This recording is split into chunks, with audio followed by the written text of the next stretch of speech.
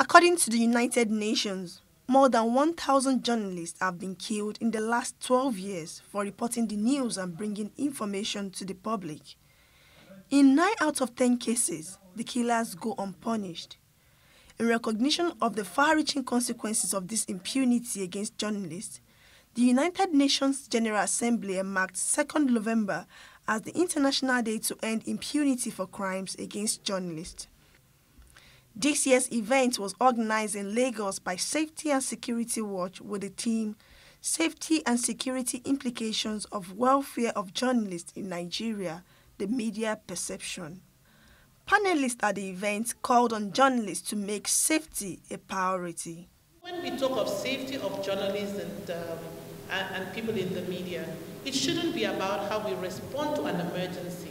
It's about the structures in place to prevent Indeed, I will say that talking about impunity is already late. In safety and security, we are more preventive. The question is you should be celebrating World Day for preventive measures, not impunity. If I am dead, I am dead. If the incident has happened, it has happened. So I did say that we're working in a lagging manner in what we call safety and security, rather than a proactive manner. So I challenge all of you here and they go to the UN and say, no, we want a preventive day. What does that do? It gives responsibility to the stakeholders at inception, before commencement. It's easy to point a finger, you didn't do, you didn't do, you didn't do. What is most difficult is challenging the institution and the industries to provide a framework that mitigates those incidents. So should he have even been in that, it is possible he could have been. Was there a system to support him? Absolutely not. Now, because of what he went through, he died. It's not because all of us, somebody else could have sustained it. There is no structure.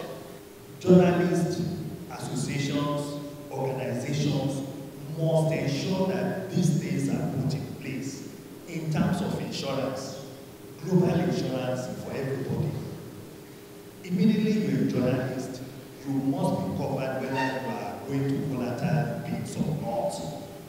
And people must know, and employers of journalists must be compelled to do the necessary and the needful so that people will be uh, convinced and will be uh, very enthusiastic about performing their duties.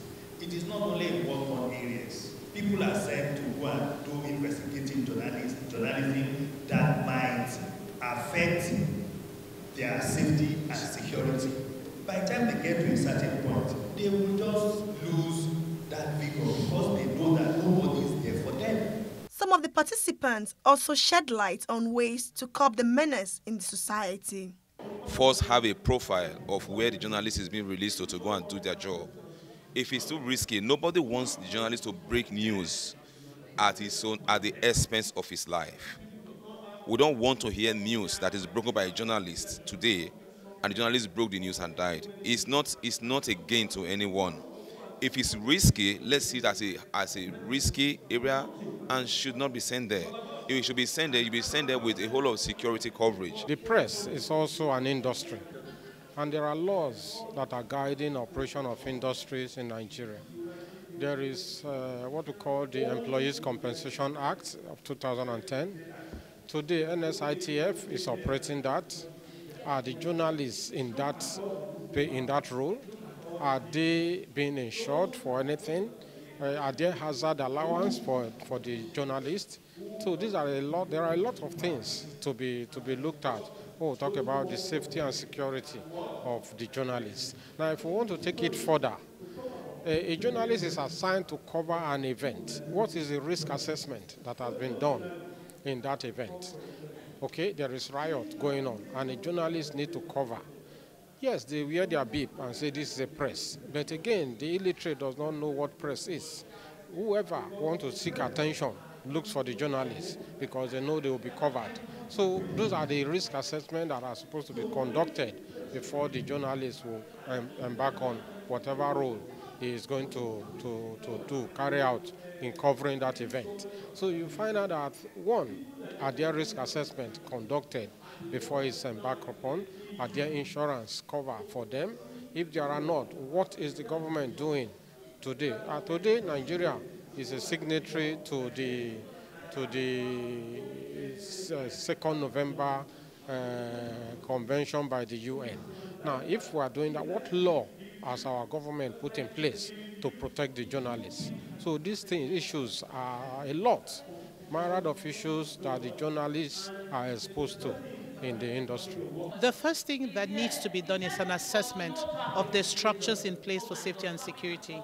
As I said inside, it cannot be assessed on a situational basis, but from a long-term perspective, there need to be continuity and processes that are put in place from induction into the profession through support in recovery and rehabilitation. Employers of labor were also called on to look into security and well-being of journalists. Employers of labor in the field of journalism should look inward towards the safety, security, health, and well-being of journalists.